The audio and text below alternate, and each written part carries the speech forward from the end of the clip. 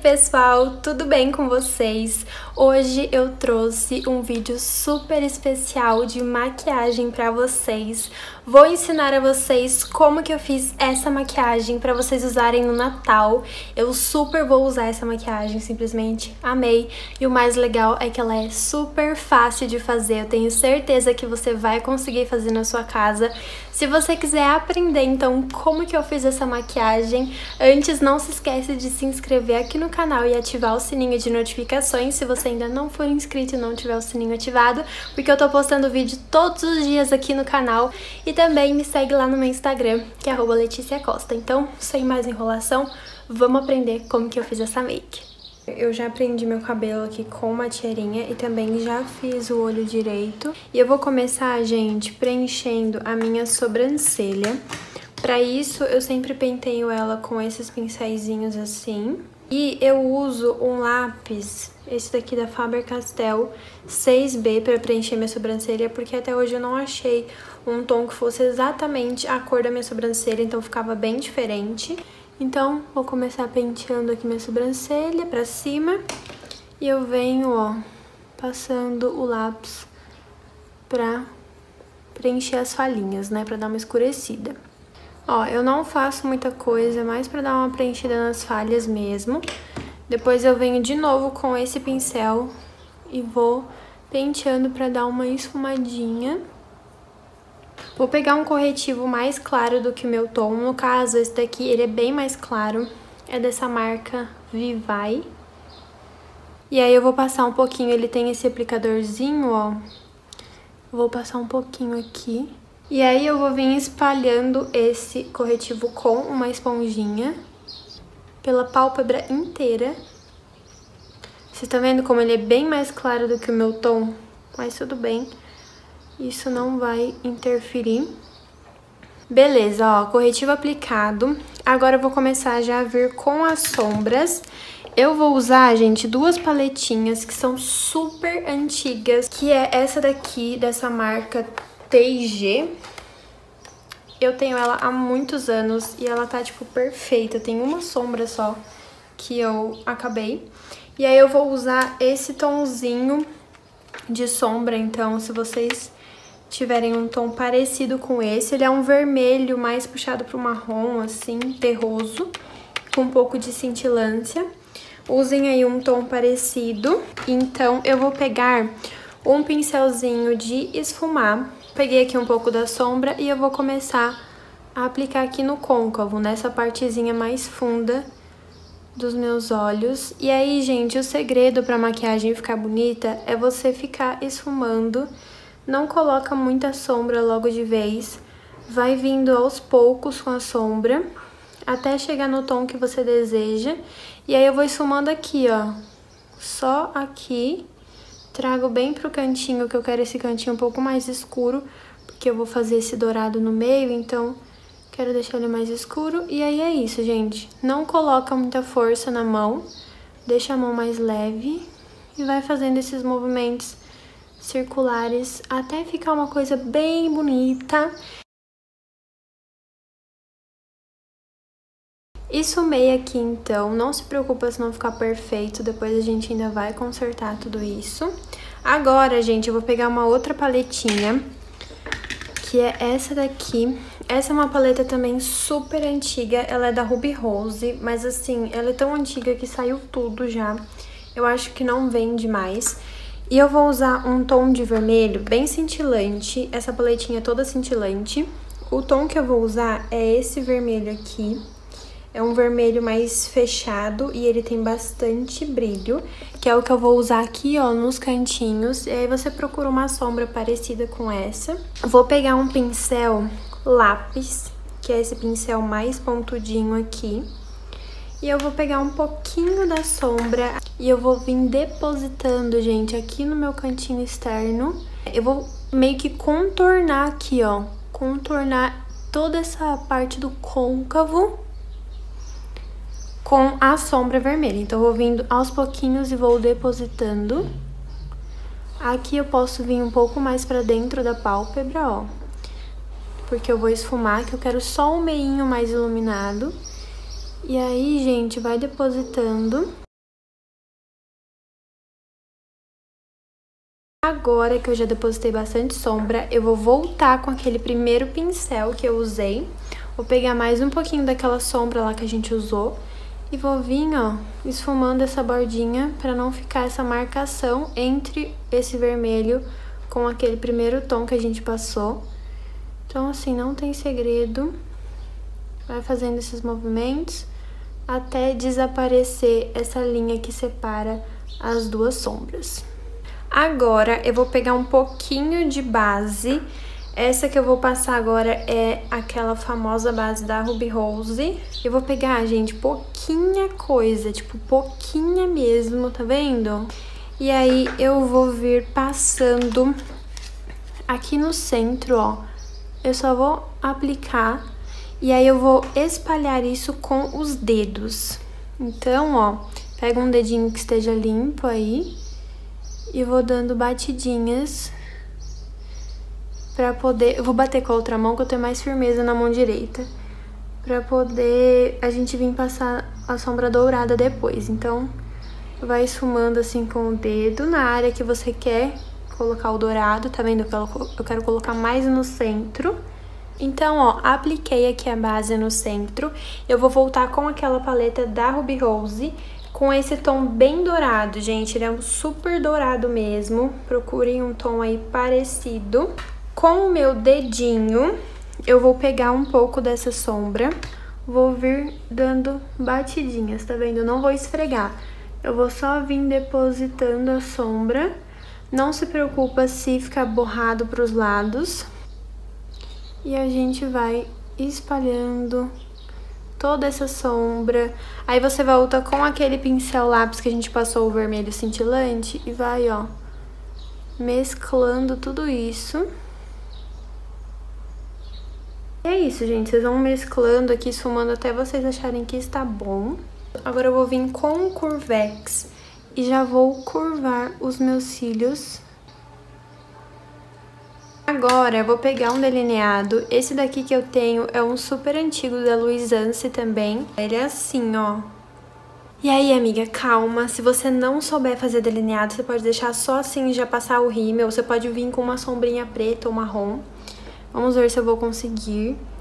Eu simplesmente, gente, venho e faço delineado aqui.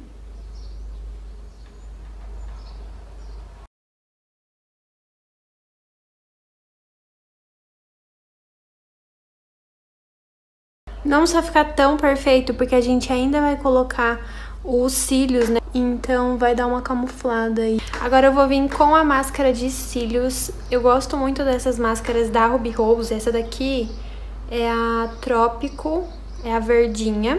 Vou aqui, ó, aplicando a máscara, pegando desde a raiz até lá em cima. E agora o que que eu vou fazer? Eu vou pegar um cílios postiço, na verdade eu já peguei. Eu vou cortar ele no meio, pode ser qualquer cílios que você tiver. Ó, olha o tamanho disso aqui, é muito comprido.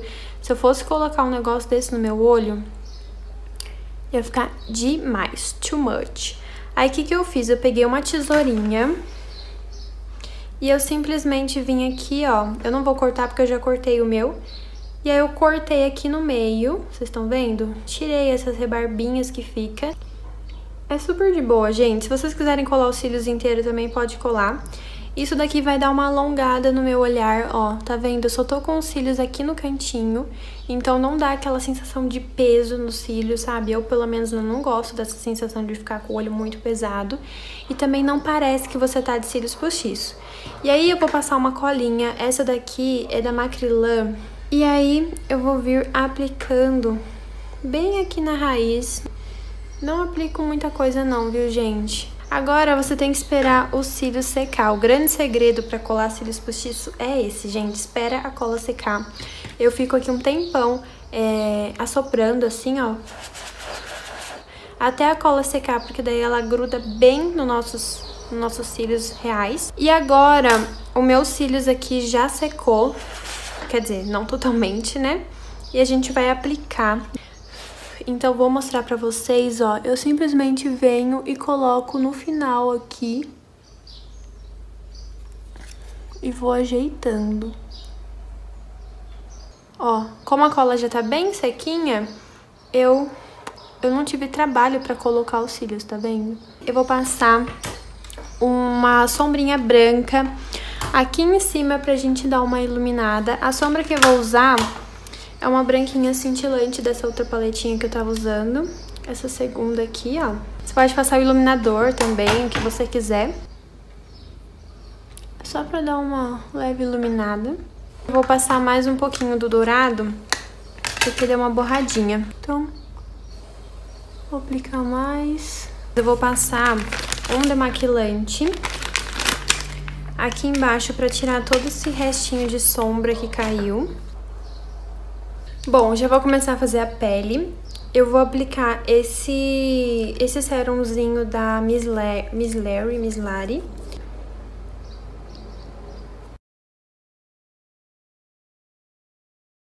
Vou começar a aplicar a base, vou usar aquela da Ruby Rose que eu falei pra vocês. E eu dei uma leve umedecida na minha esponjinha. Vou vir dando batidinhos assim, pontinhos.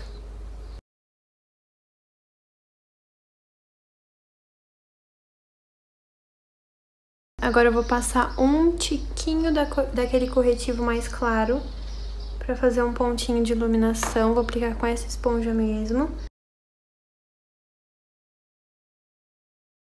Próximo passo, passar o pó. Eu uso esse pó aqui da Playboy com uma esponjinha assim, ó, desse formato de triângulo. Pego um pouquinho, não muita coisa e vou colocando.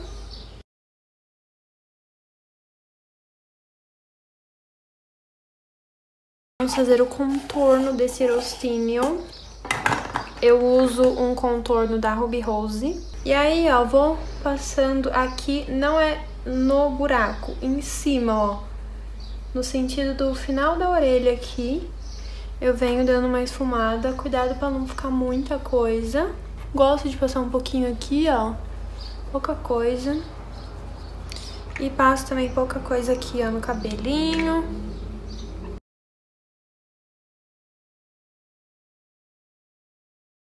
Agora eu vou vir com o meu pincel de pó, sem pó nenhum, e só vou tirar aquele pó translúcido.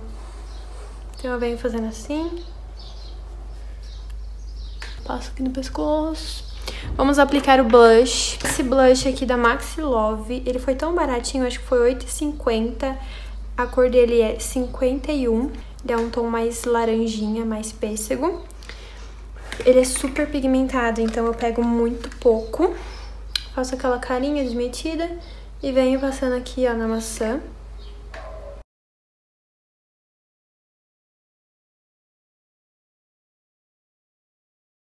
Eu só tenho um iluminador, que é esse aqui da Ruby Rose, e pra ser sincero, eu não gosto muito dele, mas é o que eu tenho, né? Aí eu pego um pouquinho assim com o dedo e eu passo aonde? Aqui na pontinha do nariz, que no caso já passei demais. Aqui, ó, em cima do nariz, também já passei demais. Aqui, na boca.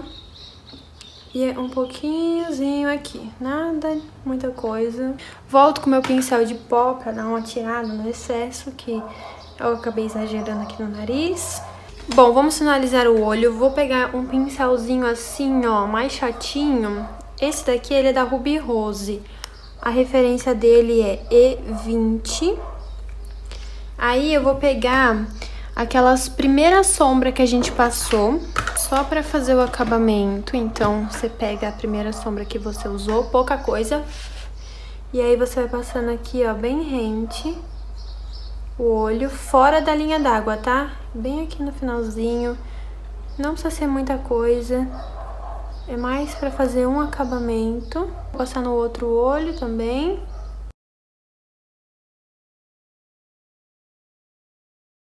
Pro olho é isso, gente. Se você quiser passar uma máscara de cílios na parte de baixo, pode passar, mas eu não vou porque eu acho que fica mais carregado o olho.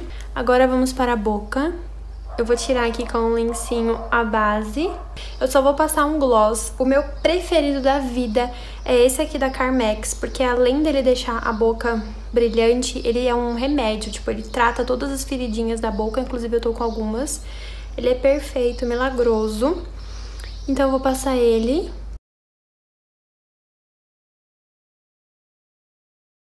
Ó, fica lindo, não fica? Eu amo ele, ele é muito perfeito. Faltou a gente passar um rímel incolor na sobrancelha, né? Então vou passar aqui, pentear ela pra cima. E os passarinhos estão querendo dar oi no meu vídeo. E pra finalizar a maquiagem, eu vou passar um spray fixador, o meu tá acabando. Esse aqui é da Ruby Rose. E a maquiagem é essa, vou me arrumar aqui pra mostrar o resultado final pra vocês. Música